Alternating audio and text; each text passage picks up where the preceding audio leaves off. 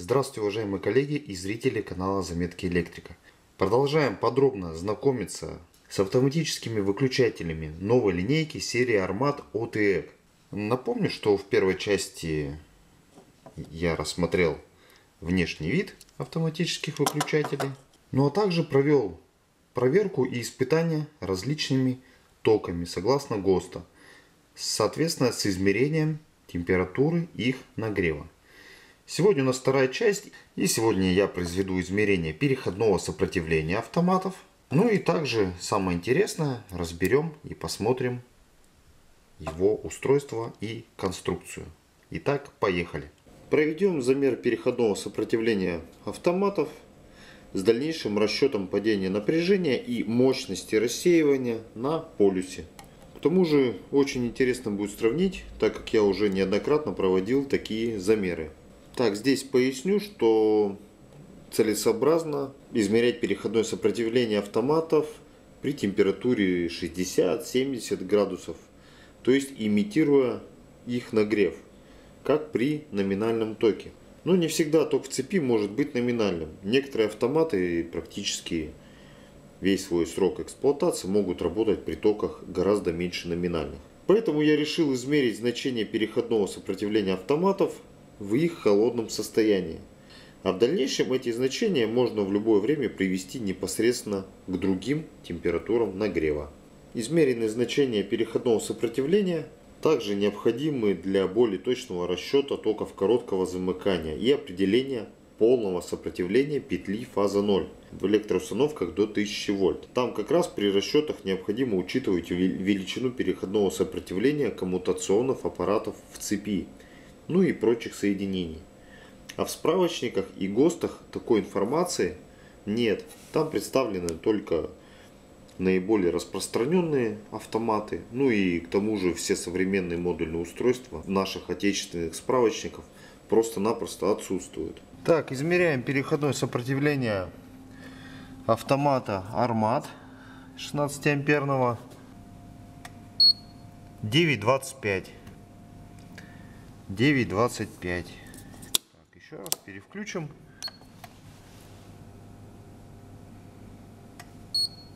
Девять тридцать. Ну, запишем самое наибольшее значение, то есть максимальное 9,3 миллиома. Этот автомат у нас уже был в прогрузке. Имеет вот такие значения. Сейчас я проверю такой же армат 16 амперный который не подвергался пока что никаким испытаниям. Ну, по крайней мере, с моей стороны. Затягивать пытаюсь примерно одинаково. Смотрим, включаем.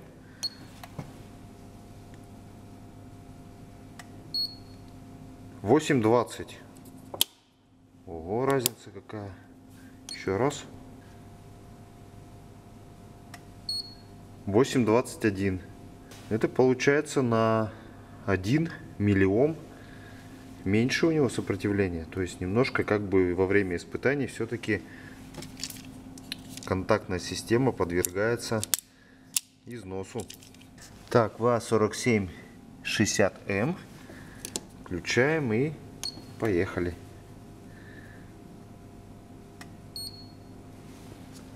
Шесть сорок четыре. Ого, какая разница. 6,44. Давайте еще разочек. 6,45. И он, кстати, был у нас уже тоже на испытаниях.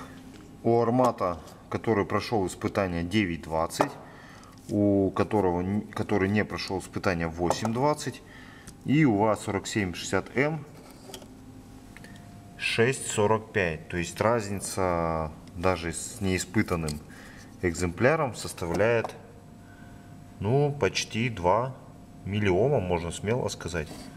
В принципе разницу по переходному сопротивлению стоило ожидать, потому что даже по тепловизионному контролю была видна разница по нагреву. Если же сравнивать полученные значения переходного сопротивления у данных автоматов, то они занимают далеко не последнее место среди других производителей. Тот же ABB имеет там 9,5 миллиом. Э, КАС вообще имеет значение 10,9. У Хагера 11, там, у Легранда 9,5. Кстати, я могу отметить то, что у того же ВА-4729 Ековского э, тоже измерено сопротивление прошлые замеры, да, когда я проводил, было тоже одно из самых наименьших. Но мы на этом еще сравнение не закончено. Нам еще нужно разобрать их и посмотреть визуально, какие там есть отличия. Ну что, вот и пришло время разобрать наши автоматы. Рассверлил я все наши автоматы, располовинил корпуса. Это у нас армат. Это у нас ВА-4760М. Если визуально сравнить, то немножко изменилось расположение элементов внутри корпуса. Сразу же скажу информацию по весу автоматов. А армат у нас то есть где-то 109-110. ВА-47 на 5-6 грамм меньше. Ну и сейчас давайте сравним, что же улучшилось, что же изменилось. Биметаллическая пластина теплового расцепителя. Кстати, место соединения гибкой связи с тепловым расцепителем Здесь заизолировано термоусадочкой. Первый раз такое вижу. У ВА-47 такого точно нет и не было. Так, про нагар. Ну, здесь вот у нас неподвижная часть. Видно нашу напаечку. Вот квадратная, да, часть. И здесь вот есть нагар. На стенку нагар практически у нас здесь не попал. Там немножко сам подвижный контакт имеет чуть большие размеры. Это наш вставыш пластиковый, который защищает корпус от прогорания в случае гашения дуги. Вот с обоих сторон, здесь в корпусе и вот здесь. Здесь как раз самая максимальная температура, и чтобы корпус у нас не прогорел, соответственно его защищают. Здесь нужно внести пояснение про вот эту защитную пластину, потому как она выполнена из современного газогенерирующего пластика, то есть ингибитора, который подавляет горение дуги. Соответственно, это достаточно эффективное решение. Этот у нас экземпляр имеет номинальную отключающую способность 6 килоампер, а у аппаратов на 10 килоампер и выше – вот эти боковые вставки, пластины выполняются керамическими. Так, ну и дальше ток у нас с неподвижного контакта уходит на катушку электромагнитного расцепителя. Здесь у нас 9 витков и уходит на зажим, на нижний зажим. Обновилась сама вот этот сам принцип расцепления. Все вот эти механизмы, тяги, стал он так более даже приятнее что ли включаться, отключаться. Ну и вот наша шторка, которая защищает от невнимательного подключения проводников. Здесь находится винт регулировки теплового расцепителя и доступа к нему извне от, нету, отсутствует. Так, это дуга отводящая пластина. И здесь она, кстати, тут имеет такую внушительную толщину. И еще здесь она укреплена дополнительной пластиной. Става что-то стоит вот на повороте. Как раз самое вот это вот горячее место. Дугогасительная камера, ну или решетка, собирается в пакет с помощью нейлоновых щечек.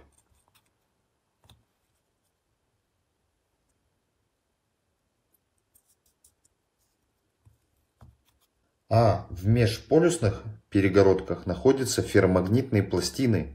То есть применение этих счетчик необходимо для ингибирования проводимости промежутка за счет газогенерирующего пластика. Для сравнения разобрал 10 килоамперный армат.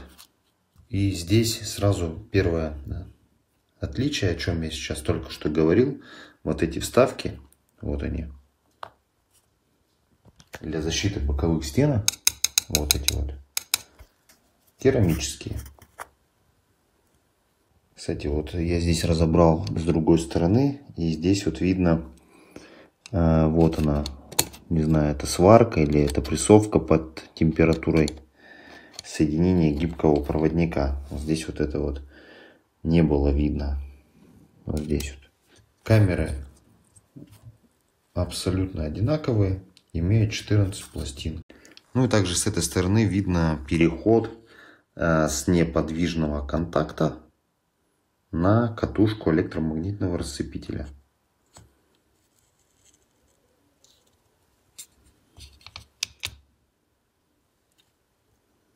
Применена термоусадочка на выводе с катушки и уже уходит на нижний зажим.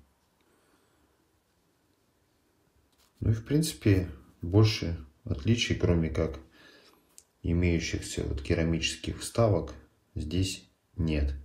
Ну и давайте пробежимся по нашему УАЗ-47.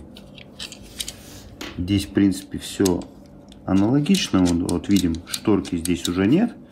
Вот это место, куда у нас может ошибочно попадать проводник при невнимательном подключении. Так, дальше у нас сразу ток уходит на катушку электромагнитного рассыпителя. Здесь у нас 8, а, 7 виточков. Так, и сразу у нас уходит ток на неподвижный контакт. Вот напаечка. Она здесь будет поменьше. Вот, видите, здесь как. И вот. Кстати, здесь следов нагара гораздо больше после испытаний. Видите, даже прогорела вот эта вот защитная пластиковая вставка. Вот. Побольше пострадал автомат уже. Хотя, повторюсь, ток у нас здесь был всего лишь 270, там 280 там. У ВА-47 применяется пластик предыдущего поколения. А находящаяся за ней, за пластиком, металлическая пластина выполняет функцию отбора тепла за счет теплоемкости металла. Ну и также дополнительно функция элемента, не допускающего межфазного КЗ в многополюсных аппаратах. Дугогасительная камера имеет большие размеры у армат.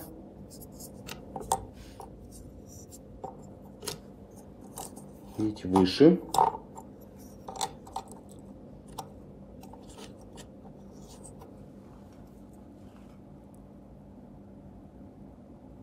и имеет на одну пластину больше, чем у ВА-47.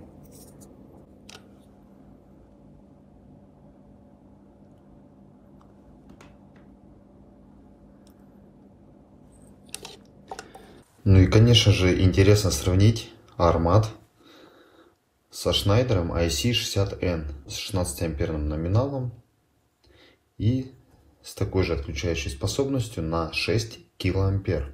Что сразу бросается в глаза? А бросается в глаза неподвижный контакт, его сечение, его габариты, его вообще в целом величина. Еще раз показываю. И какой у Шнайдера? Ну, в разы меньше и по сечению тоньше. Ну и соответственно неподвижный контакт. Еще раз показываю напайку на армате. Квадратная напаечка. Вот квадратная напайка на армате. И переходим на Шнайдер. Шнайдеровская напаечка. Ну, я не знаю, тут ее практически миллиметр, наверное. Даже толком не видно.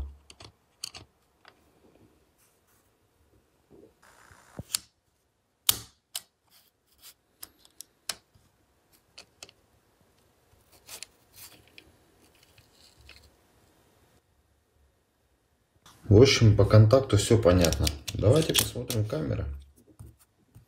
Вот камера Армата и камера Шнайдера в таком виде посмотрим.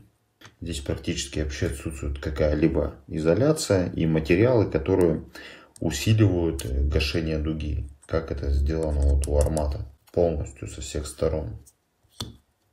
Здесь просто все прозрачно, все насквозь. Просто пластины, скрепленные по бокам.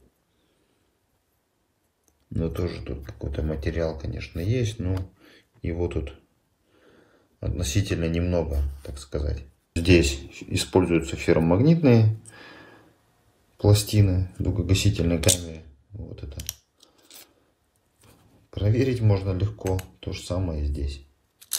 С помощью магнита. Ну а количество пластин в камере у Шнайдера 12. Всего 12 штук. У Армата 14, а у ВА-4760М 13. Вот еще раз покажу камеру. Ну вот габариты.